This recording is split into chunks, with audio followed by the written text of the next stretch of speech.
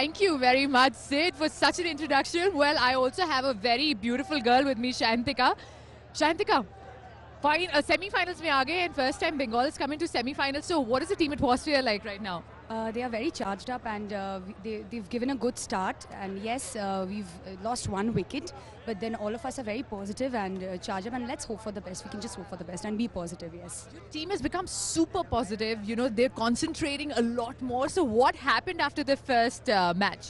See, I think um, uh, once uh, they won the second match uh, against Mumbai and then uh, followed by the third match uh, against Punjab. Yes. Good one, good one. You know, I was just saying that, you know, while the interview, if, one of our wicket goes, I, we are so superstitious. Uh, but then, yes, it's uh, superstition is part of the game. What do you do uh, for the superstition? ऐसे कुछ uh, मंदिर में नारियल फोड़ के आते हो क्या करते हो? you know what we do like we have we fix our places and from the time of the toss we if if we win the toss or if it's in our favor we stand by and till the end of uh, of the game and till the both uh, innings get over we stand there only and if you want to drink water or if you want to you know go somewhere go to the washroom freshen up not allowed The Bengalis are very superstitious, is that right?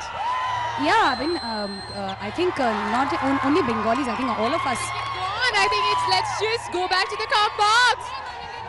जी हाँ superstition की बात कर रहे थे और यहाँ